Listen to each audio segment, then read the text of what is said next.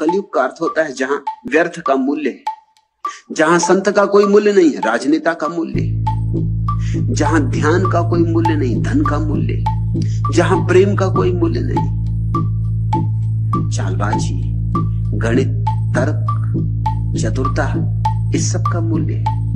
यहाँ जो जितना सफल होता है वो उसी मात्रा में सफल हो पाता है। जिस मात्रा में चालबाज हो। चतुर हो कुशल हो जिस मात्रा में षड्यंत्र की क्षमता हो, कलयुग का अर्थ होता है, जहाँ सारे लोग व्यर्थ के लिए दौड़े जा रहे हैं, जहाँ कूड़ा करकट मूल्यवान हो गया जहाँ परमात्मा की किसी को याद ही नहीं।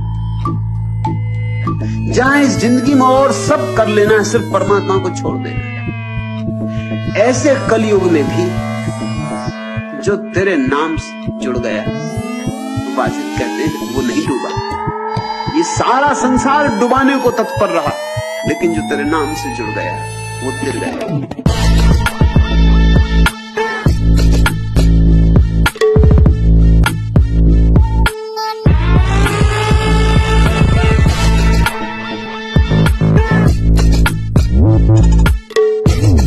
जब तक तुम भीड़ के हिस्से हो, तब तक तुम डूबो।